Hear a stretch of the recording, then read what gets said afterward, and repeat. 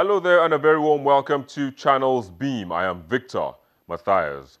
Today on the program, our focus is on the online community in Nigeria, specifically if there is a need for a law to be passed to protect online rights and regulate the actions of those living in the social cyberspace. But before we begin, let's first take a look at what made the trends online in the past week.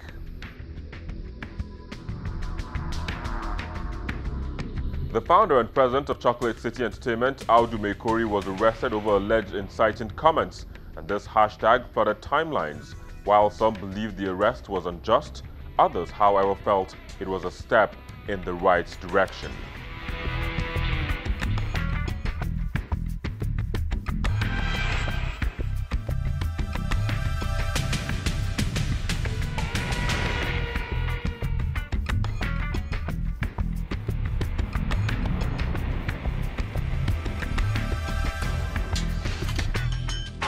And with the economy still down south, Tweeps have been advocating for the purchase of locally made goods so as to boost the economy and hopefully quench the insatiable thirst for products outside the shores of the country.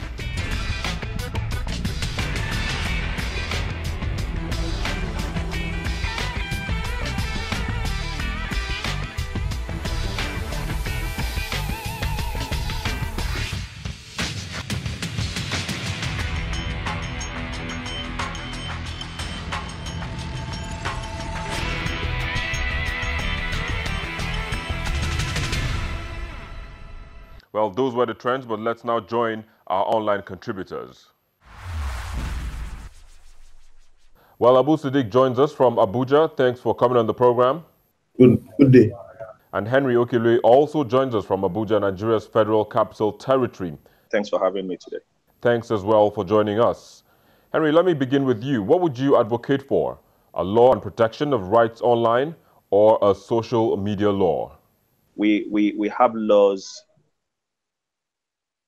protect people's rights already.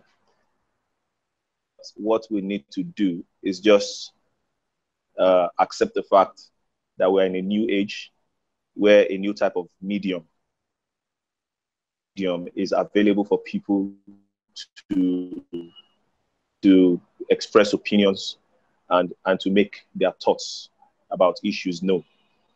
Now, some people use this medium for, for good, while others use it and uh, cause discomfort. So I think that is where uh, rights come in and laws or a law that protects online might become necessary. And and this and this uh, law would not just uh, be limited to our interactions, our engagements online, extend to the things that we do electronically offline. So it, it, it necessarily should not be an online protection law, a law protecting the rights of, of citizens in the internet age. This will include data protection laws, laws that protect people from defamation, slander, libel online, laws that, go, that protect the government, and laws that protect the governed. It's, it's about time we accept the fact that things have moved from the traditional ways where someone can only slander or defame you offline. It can now be done online and done anonymously too. I largely agree with um, Henry that um,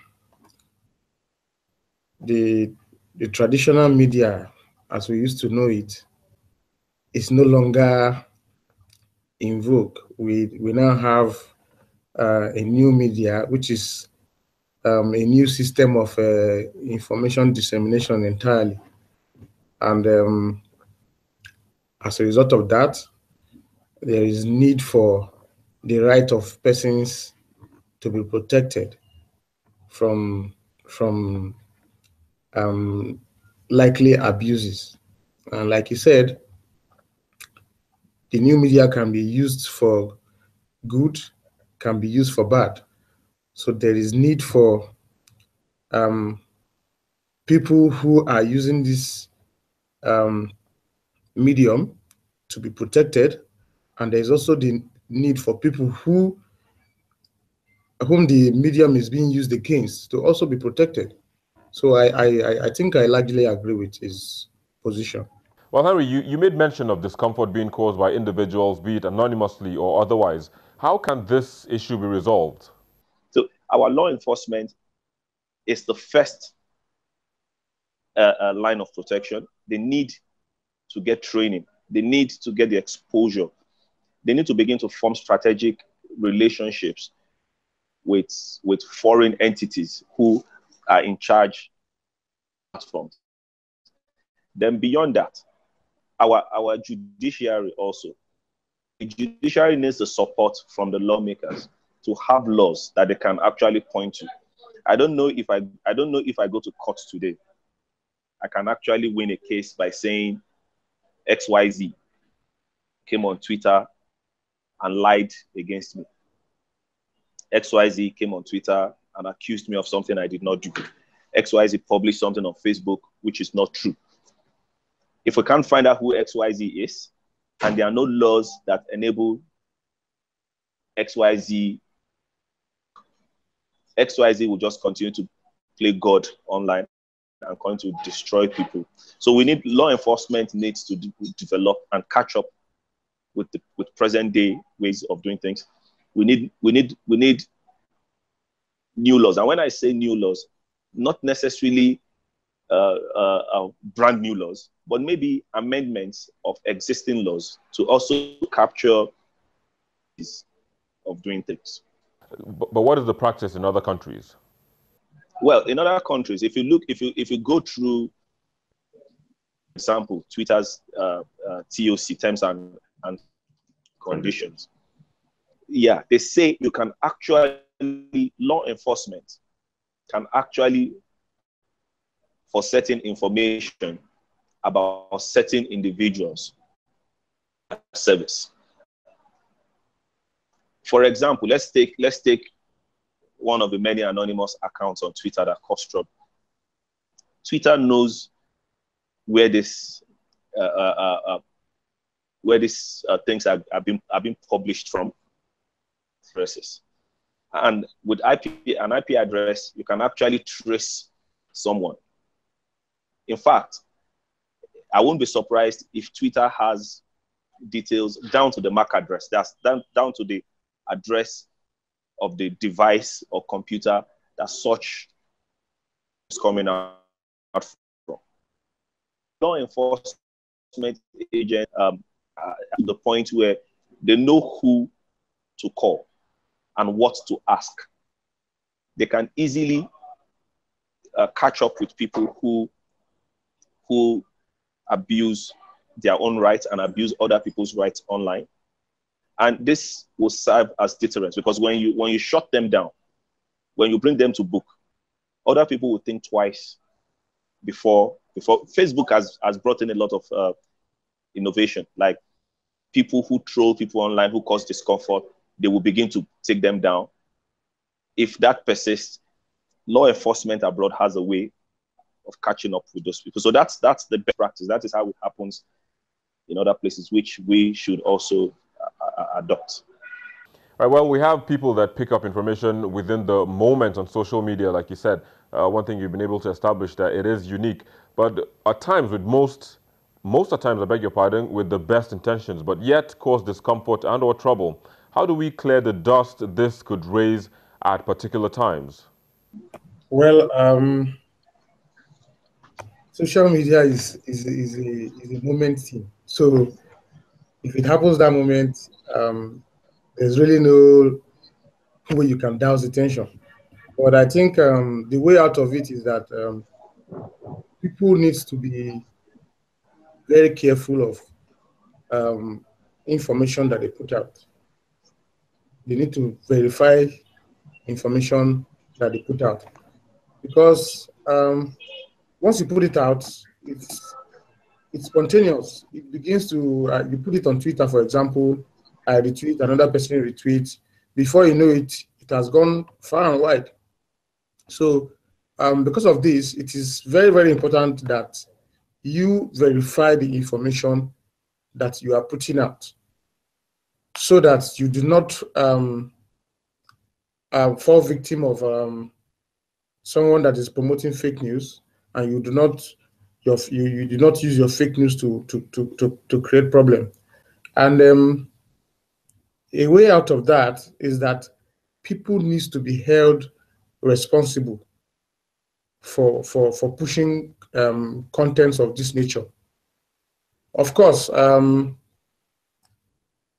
people who genuinely push out contents should also be protected, but um, that should not um, that should not be a basis for anyone to just push out um, any kind of information without verifying whether it is true or not.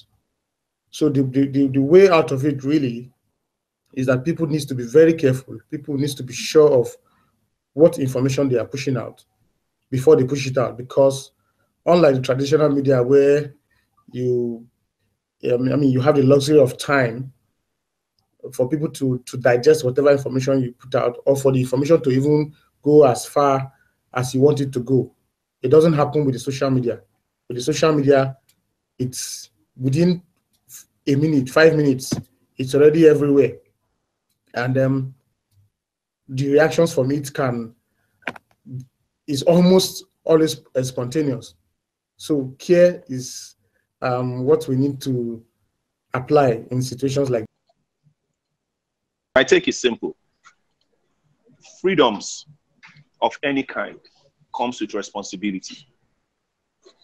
Yes, we are all free, especially in a democracy, to express our thoughts, to express our opinions without fear of anyone trying to, to stymie us.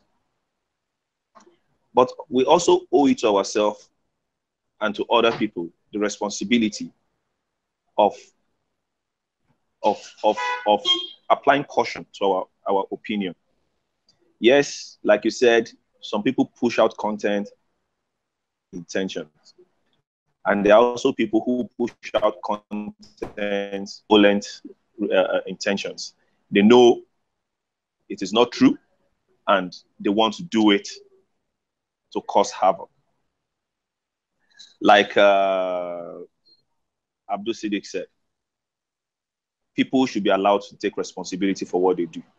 If you have freedom of expression and you express freedom, express uh, uh, freedom of opinion and you express that opinion, and it turns out your opinion is a fraud, turns out your opinion is filled with falsehood, and your opinion is capable of causing a breach of public peace, then law enforcement also have a freedom protected by various laws to bring you in, investigate your motives, and decide if you have done it in good faith or you did it intentionally to, call, to, cause, to cause havoc. All right, guys, that's all we can take at this moment on the program. Thanks for coming and sharing your thoughts, but then we'll have to leave it here. We'll take a quick break and we'll be back shortly with another perspective. Stay with us.